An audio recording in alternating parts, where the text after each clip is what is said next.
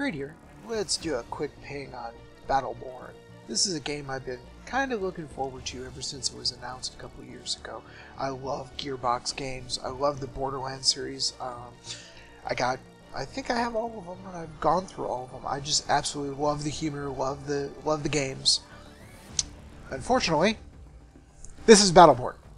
No, really. This is it. Steam has a two hour limit on when you can refund a game. You can have, not have more than two hours of game time before you can ask for a refund. Battleborn is going to be the first game I have ever, ever thought about requesting off of Steam. It's in over 300 games. I have never once wanted to refund a game until now. And this is why. I'm now at 1.8 hours. I've played the prologue.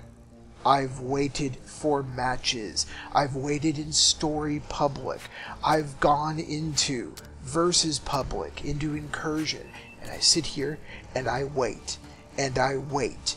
And I wait. And this is something that Gearbox had, has been told about all the way since the betas at least the open beta. I can definitely say for the open beta because I was in that and I complained about it back then. And I wasn't the only person that complained about it. And Gearbox has said nothing about it. We've asked to know what ports we had to open up.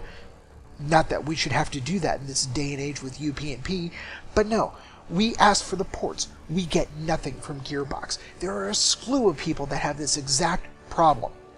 And I know, I know that there's going to people people out there that are going to say, but Greyed. It's your machine. It's your networking. I'm sorry. No. I have over 30 network games on my machine right now. Battleborn is one of them. Battleborn is the only one that does not work. The only one. I've opened up the ports uh, that have been listed on portforward.com, which is the only ports that are given to us on the official forums and not by Gearbox employees. Those don't work. I'm in the North American region. Nothing. Absolutely nothing. So after I'm done recording this short little segment of about, what, two or three minutes, where I obviously have not received one, not even one connection from an opponent or a teammate on, on any, any game mode, I'm going to be asking for a refund. This is absolutely pathetic. If anyone, anyone is thinking about uh, uh, purchasing Battleborn, don't. This is absurd. This is a waste of money.